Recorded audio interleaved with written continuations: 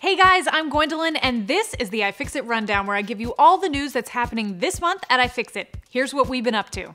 Over at our blog, we have a great story called Durable is the New Black, where we feature companies like Patagonia and Tom Cridland who make it cool to repair old garments instead of pushing for you to buy new ones. Virtually an unheard of idea in the business world. And grab a tissue because we tell you all about the saddest repair story you have ever heard. With the discontinuation of the Sony Aibo dog in 2006, there's now a shortage of parts and repairmen to fix the family pet, giving the dog that was supposed to live forever an expiration date.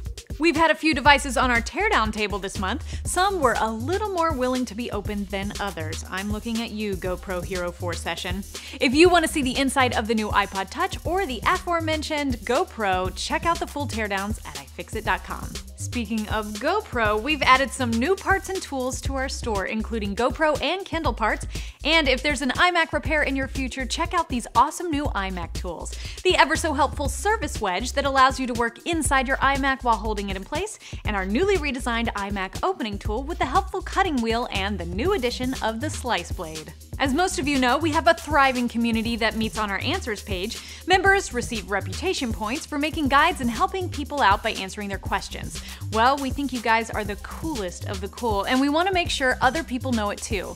I want to send out a big congrats to both Dan and MacHead3 who surpassed the 100,000 rep points mark.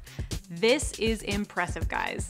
July at iFixit means Liberation Week. Earlier this month, we gave away 10,000 Liberation kits. We sold out within hours and generated 11,000 social posts on Twitter and Facebook. Thanks for all the social love. You guys are awesome.